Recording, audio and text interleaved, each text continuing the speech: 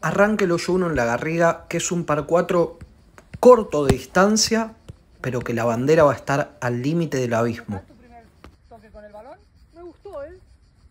Yo estoy estrenando pelota, así que voy a ir encontrándole el toque mientras juego. La bandera está puesta justo donde empieza una caída importante, así que prefiero quedarme corto, pero fue demasiado corto. Ahí la tienes. Buena. Voy a jugar un lindo pat y arranco el 1 con un birdie. Este par 4 es hermoso. Hay que evitar esas dos aguas para poder acceder a la bandera que está atrás de los bunkers de la izquierda. Pero voy a infringir una regla. Yo interpreto que la estaca que va a quedar entre mi pelota y la bandera es una obstrucción móvil, lo cual es un error, porque una obstrucción movible se define que puede ser quitada sin esfuerzo. Lo consulté y tal vez por cordialidad no hubo claridad, pero esa obstrucción era una obstrucción inamovible y en ese caso yo no podía obtener liberación. Por lo tanto, ahora mientras estoy editando el hoyo, reviso las reglas, me doy cuenta de la situación y me sumo dos golpes de multa al finalizar el hoyo. Si bien era una vuelta de práctica, le pido disculpas a mis compañeros de línea por el error. Este par 5 tiene una caída a la derecha de todo el hoyo que va a llevar un agua, que acá no se ve, pero a la derecha hay agua. Y mi pelota se va a detener un par de metros antes. Voy a quedar adelante de un arbusto, así que juego por abajo y avanzo lo máximo posible. Este tercer tiro está barranca arriba y hay todo un green por delante. Atrás del hoyo va a haber una loma que me iba a devolver la pelota hacia el hoyo, por lo que le tiro confiado, sin miedo a pasarme. El hoyo 4 va a caer de derecha a izquierda, así que tengo que tratar de pasarla por ahí abajo del árbol.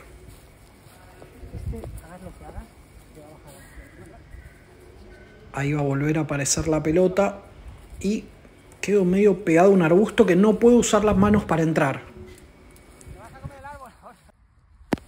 En este segundo tiro erro en la estrategia porque primero no fui a ver el green y segundo me tenía que pasar para evitar esa barranca abajo.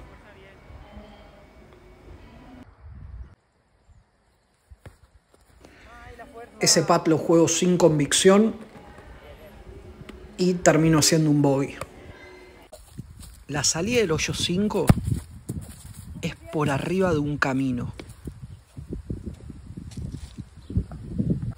Así que ahí sí tengo que tirarle con todo. Al ser un par 5 yo acá no quiero llegar a los bunkers, que eran muy profundos.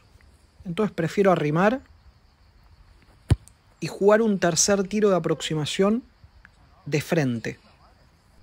Como había green pensé que era larga, pero no, fue buena. Esta sacada de Sergi era complicada y la resuelve con gran clase.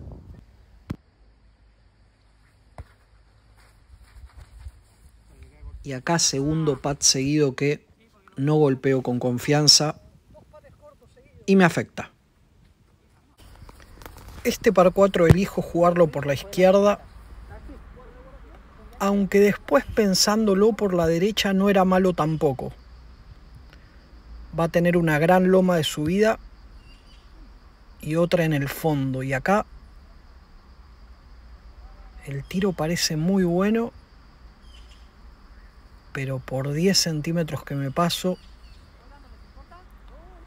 termino abajo de todo.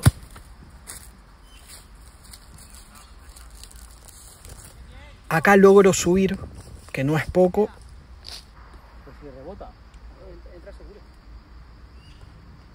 Y defino con gran categoría.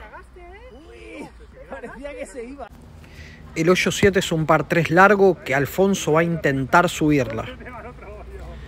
Y le tira con todo y ese es el riesgo, desviarse.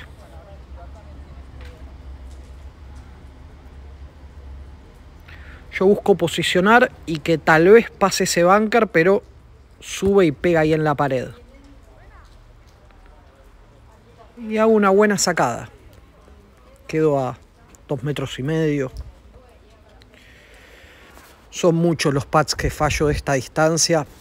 Así que mi próximo objetivo va a ser ir a un club con seis pelotas y tirar muchas de ahí. Otro par 3 que hay que pasarla entre esos árboles con un poquito de rosca. Pero hay una caída a la derecha que me la va a alejar del objetivo. Y acá se me interpone el bunker. No la puedo ni picar ni pegar, no sé bien qué hacer. Así que trato de jugar seguro y cerrar en par.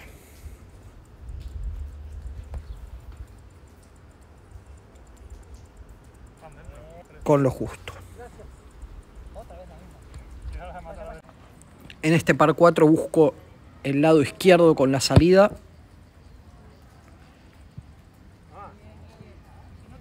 Para poder atacar bien a la bandera. Porque por el otro lado hay un bunker. Y la salida es buena. Marín, es mi teléfono.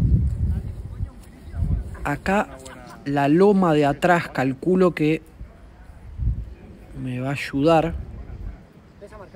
Y vuelve en esa dirección. Y Jorge me dice que la va a invocar, que lo filme.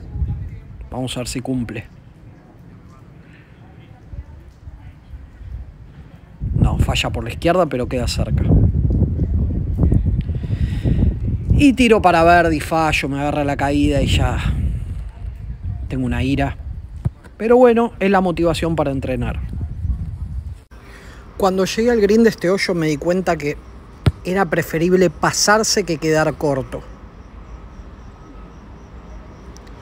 A la izquierda va a haber todo un fuera de límite, pero que prácticamente no juega. Ahí quedó adelante de esa loma, que si hubiera jugado más largo a la derecha, tenía un tiro más franco. Pero bueno, es parte del desafío de no conocer la cancha.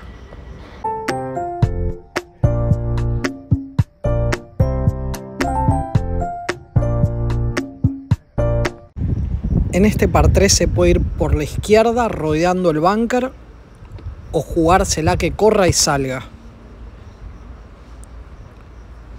Yo le tengo más fe a la primera opción y va a salir bien. Queda muy cerca, así que no voy a tener problema en este. El 2 es un par 4 que sigue ese fuera de límite a la izquierda y que el green va a estar elevado.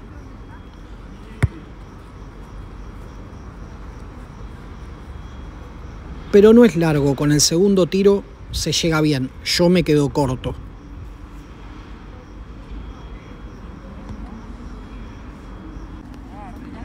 Juego un buen pat y la invoco por el medio. El hoyo 13 tiene una salida muy comprometida. Porque va a tener una caída que lleva hacia el agua de la izquierda.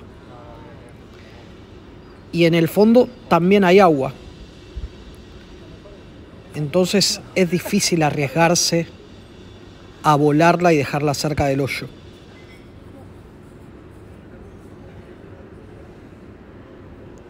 Aparte con este segundo tiro se alcanza bien. Yo la dejo cerca, pero acá me faltó fuerza.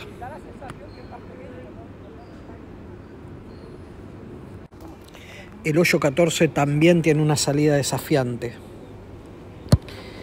Algunos llegan a pasar, pero yo en mi mente venía uno bajo par.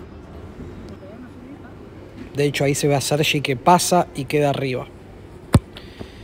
Y por querer cuidar, el score. Fui por el lado más seguro. Porque aparte con el segundo calculé que llegaba bien. Pero quedé pegado a la reja. Trato de salir, pero vuelvo a caer hacia la reja. Igual que de cerca con el tercer tiro para par, pero estoy errático con el pat. Sumo uno más.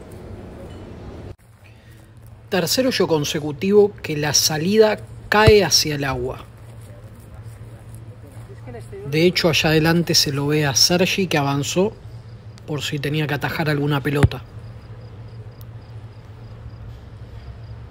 Ahí trepo el bunker con el segundo y voy a tener una chance para Bardi que se va a caer justo al final.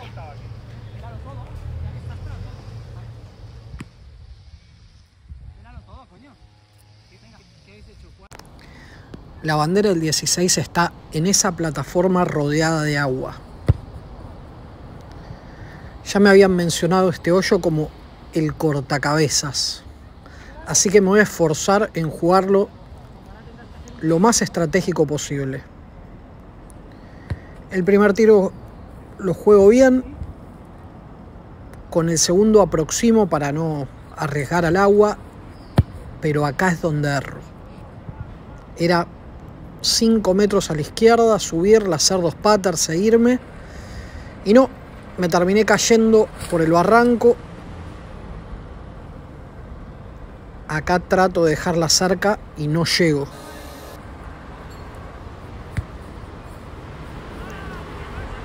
De vuelta lo mismo. Quiero pagar lo menos posible, pero... No, no, no va a ir, era bastante empinado. Así que finalmente la subo para cerrar este hoyo que saca el creo Guille que fue triple. Yo creo que hice 8. El hoyo 17 va a estar atrás de esos árboles. También puede ir por la derecha, pero yo quise ir por arriba del ti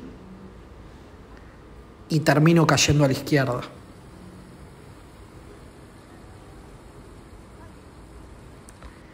El segundo tiro era para avanzar y quedar con buen ángulo para este tercer tiro que le pego flojo. Quedo corto y a la derecha.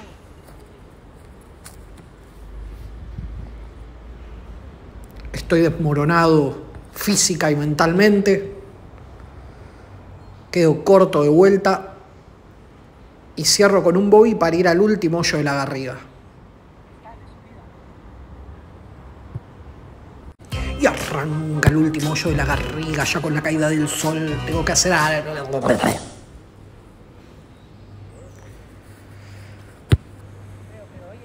Es un par 5 que hay que ir por un camino entre árboles.